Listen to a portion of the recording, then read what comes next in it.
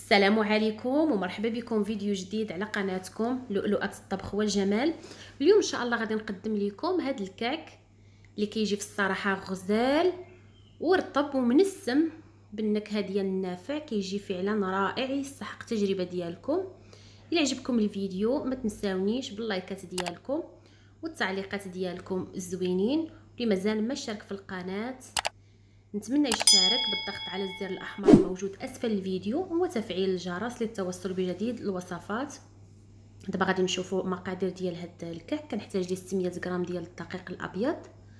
ما يعادل 6 ديال الكؤوس ديال العنبة. معلقة صغيرة ديال الخميرة الكيماوية وكيس ديال الفانيلا.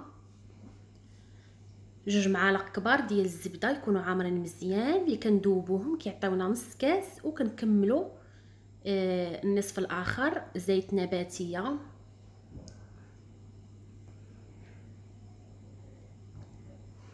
وثلاثة ديال المعالق كبارين ديال الجنجله آه، اللي محمر. ومعلقة كبيرة ديال النافع مطحون محمر ومطحون. معلقة كبيرة ديال الخميرة الفورية. وبيضة كاملة. سبعة ديال المعالق عامرين مزيان ديال سكر سنيدة. والحليب الدافئ باش نعجنو. ممكن أنكم تزيدوا ولا تنقصوا السكر ولكن سبعة المعالق كيعطيو واحد الحلاوة اللي هي معتدلة وكيجيو زوينين بزاف. على بركة الله كان نديروا الدقيق في واحد القصعة وكنضيفوا عليه المكونات كاملين.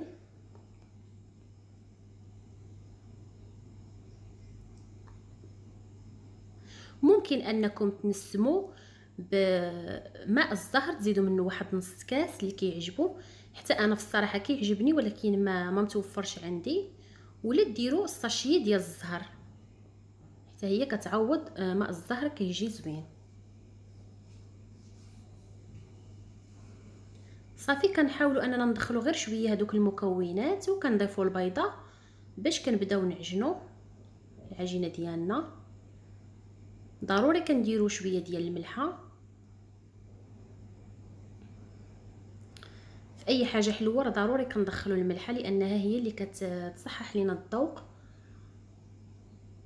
هنا غادي غير نجمع العجينة ما غاديش ندلكها غادي غير نجمعها. ومن بعد عاد غادي ندلكها ما غاديش ندلكها بزاف نتوما كما غتشوفوا معايا أصلا. العجينة اللي كتكون بالحليب ما كتحتاجش واحد الدلك. هنا راني خليتها المدة ديال خمسة ديال الدقائق. عاد رجعت كنكمل ليها ندليك وكنضيف ليها شوية ديال الحليب حتى نتحصل على القوام اللي بغيت. القوام ديال هاد العجين خاصو ضروري يكون كيتلصق في اليدين. هذاك هو السر باش كتجينا هاد كيجينا هاد الكعك هذا آه، رطب. هذا هو القوام بحال هكا ولكن ماشي سائلة هي كتلصق في اليدين ولكن ماشي زعما سايحة بزاف. فهاد المرحلة خليتها خمرات مزيان حتى تضاعف الحجم ديالها وغادي ننزلها في سطح العمل اللي أنا كما كتشوفوا كنمسحو بالخل. وكذلك غادي نمسح حتى الميزان لانني غادي نستعن به باش كيجيوني الحبات كاملين قد قد. كنرش شوية ديال الدقيق. نحاولوا أننا ما نكثروش الدقيق باش ما يدخلش لينا يدخل لينا العجينة لداخل ويجيونا مدقصين كنتحكموا في الكمية ديال الدقيق وكنبداو نقطعوهم. هنا اللي ما عندهاش الميزان ماشي مشكل راه تخدم غير عينها ميزانها ولا كان الميزان كيكون أحسن. كيجيونا كلهم قد قد وكيجي حتى المنظر ديالهم زوين. درت فيهم 60 غرام. هاد القياس كيجي زوين ديال 60 غرام كيجيو متيولين.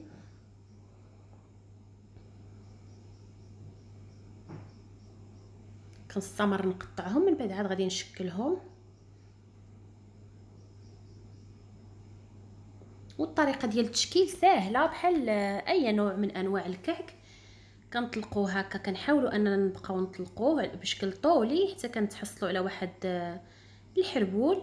ومن بعد كنقطعوا ليه الطرف ديالو وكنزيدوا نلصقوا معاه الطرف الآخر وكنثبتوه مزيان. الطريقة اللي هي ساهلة وما فيها حتى شي تعقيدات. وكنبداو نديرو فواحد الصفيحة اللي كتدخل للفرن. كنرشوها آه كندهنوا اولا بالزيت وكنرشوها بالدقيق. وإلا كان ورق الزبدة كنديروه يعني كنعوضو به. ولا ما كانش كنديرو غير هاد الطريقة هذه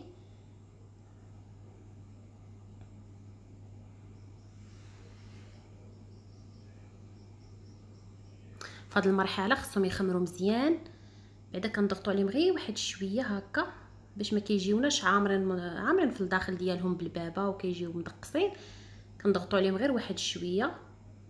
وكما قلت لكم في هذه المرحلة ضروري ما خصهم يخمروا مزيان حتى يضعف الحجم ديالهم. نخليوهم يخمروا على خاطرهم.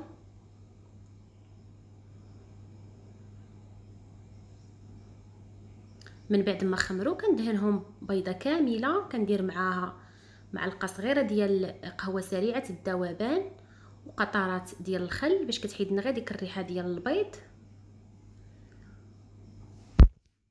وفي هذه الأثناء كنكونوا مسخنين آه، الفران. كنشعلوا عليه غير من التحت على درجة الحرارة 180 حتى كيبانوا لنا شدوا راسهم من التحت عاد كنطلعوهم وكنشعلوا عليهم من الفوق. أنا طلعتهم الفوق من شعلت عليهم الفوق درت لهم الفرفارة باش كيجينا داك اللون موحد.